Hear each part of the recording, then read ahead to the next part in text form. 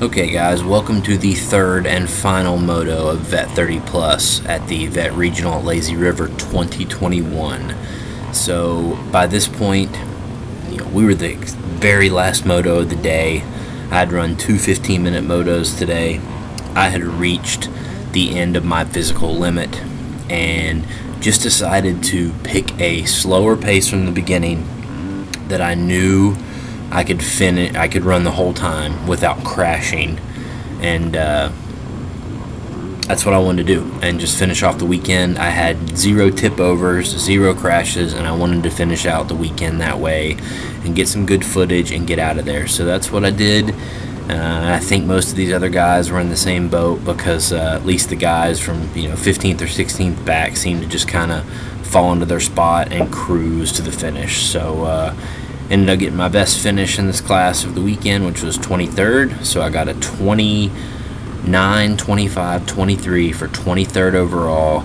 And I had improved my lap times from Friday. They were about 207, 208. I got them all the way down to 153, which I was happy with. So I, I think that was either the fastest or tied for the fastest lap time on any rider at the vet regional from uh, West Virginia. So I was pretty pumped about that.